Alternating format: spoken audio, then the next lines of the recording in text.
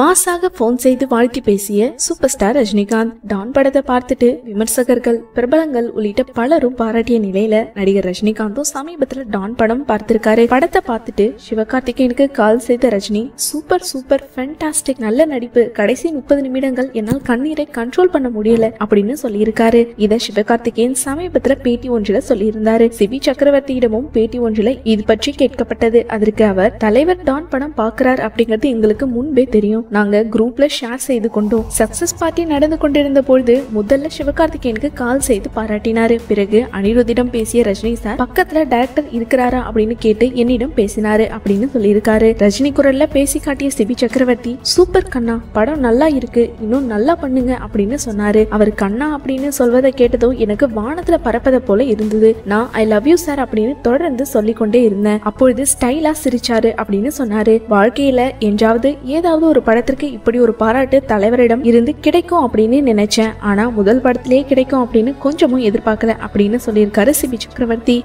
தமிழ் திரையுலகில் வசல் மன்னன் அஜித் தான். தமிழ் திரையுலகின் அசைக்க முடியாத ரசிகர்கள் பட்டாளத்தை தன்னகத்தை கொண்டு முன்னணி நட்சத்திரமா ஜொலித்துக் கொண்டிருக்கும் நடிகர் அஜித் குமார் எந்த பின்புலமும் இல்லாம திரைத்துறையில வெற்றி வாகை சூடியிருக்க இவரை பல ரசிகர்களும் தங்களுக்கு இன்ஸ்பிரேஷனா கருதி வராங்க. சரண் இயக்கத்துல அஜித் நடிப்புல கடந்த ஆயிரத்தி தொள்ளாயிரத்தி தொண்ணூத்தி ஒன்பதாம் ஆண்டு வெளியான படம் அமர்கலம் இந்த படத்துல அவருக்கு ஜோடியா ஷாலினி நடிச்சிருந்தாங்க. இதுல அஜித் ஆதரவற்ற அனாதையா நடிச்சிருந்தாரு. இந்த படத்துல இருந்து தான் அஜித் மற்றும் ஷாலினிக்கு இடையே பட்டாம்பூச்சி பறக்க ஆரம்பித்தது. படத்திலயும் இவங்களோட கெமிஸ்ட்ரி பலராலும் ரசிக்கப்பட்டது. ஆக்ஷன் கலந்து உருவான இந்த காதல் திரைப்படம் மிகப்பெரிய பிளாக் பஸ்டர் ஹிட் அடித்தது. அடுத்ததா அஜித்தின் தரத்தை ஏணி வைத்தாலும் எட்ட முடியாத அளவிற்கு உயர்த்தியது பில்லா படம் தான். ரஜினி நடித்த பில்லா படத்தை ரீமேக் செய்து இவர் நடிச்சிருந்தாரு. விஷ்ணுவர்தன் இயக்கத்துல இரண்டாயிரத்தி ஏழாம் ஆண்டு வெளியான இந்த அதிரடி கேங்ஸ்டர் திரைப்படத்துல அஜித் இரட்டை வேடங்கள்ல நடிச்சிருந்தாரு. பதினஞ்சு கோடி ரூபாய் செலவுல உருவாக்கப்பட்ட இந்த படம் ஐந்து மடங்கு அதிகமான வசூல தனது பிளாக் பஸ்டர் ஹிட் அடிச்சது. அதை தொடர்ந்து அஜித்தின் ஐம்பதாவது படமா அமைந்தது மங்காத்தா. இவரின் ஐம்பதாவது படம் அப்படிங்கறதுனால ரசிகர்கள் பல எல்லாரும் உற்சாகமா படத்தை காண காத்திருந்தாங்க. வெங்கட் பிரபு இயக்கத்துல இரண்டாயிரத்தி பதினோராம் ஆண்டு வெளியான இந்த திரைப்படத்துல அஜித் நெகட்டிவ் கேரக்டர்ல நடிச்சு அனைவரையும் ரசிக்க வச்சாரு. இந்த படம் திரையரங்குகள்ல நூறு நாட்களுக்கு மேல ஓடி வசூல் சாதனை படைத்து பிளாக் பஸ்டர் ஹிட் அடித்தது. அடுத்ததா சிவா இயக்கத்துல அஜித் நடிப்புல இரண்டாயிரத்தி பத்தொன்பதாம் ஆண்டு வெளியான குடும்ப திரைப்படம் விஸ்வாசம் ஆக்ஷன் குடும்ப பாசம் பிரிந்த மனைவியையும் மகளையும் சேர்வதற்காக இவர் நடத்தும் பாச போராட்டம் அப்படின்னு படம் நல்ல வரவேற்பு பெற்றது. இந்த படம் இந்த படம் தமிழகத்துல கிட்டத்தட்ட நூத்தி முப்பது கோடி ரூபாய்க்கு மேல வசூலித்து தயாரிப்பாளர்களுக்கு லாபத்தை கொடுத்ததோடு பாக்ஸ் ஆபீஸ்ல மிகப்பெரிய வெற்றி படமா அமைந்தது. மேலும் ஹெச் வினோத் இயக்கத்துல இந்த ஆண்டு வெளியான வலிமை படம் வெளியாவதுக்கு முன்னாடி இருந்தே பல எதிர்பார்ப்புகளை ஏற்படுத்தியது. பாசம் ஆக்ஷன் த்ரில்லர் சமூக கருத்து போன்ற பல கலவையான கருத்துக்களோடு உருவான இந்த படம் அனைத்து திரையரங்குகளையும் அனைத்து காட்சிகளும் ஹவுஸ்ஃபுல்லா ஓடியது. படம் வெளியான முதல் தினமே அதிக வசூல இடம்பெற்றது. மேலும் இந்த படம் இறுதியா உலகம் முழுவதும் இருநூறு கோடி ரூபாய்க்கு மேல வசூல் சாதனை புரிந்து பிளாக் பஸ்டர் ஹிட் அடிச்சது.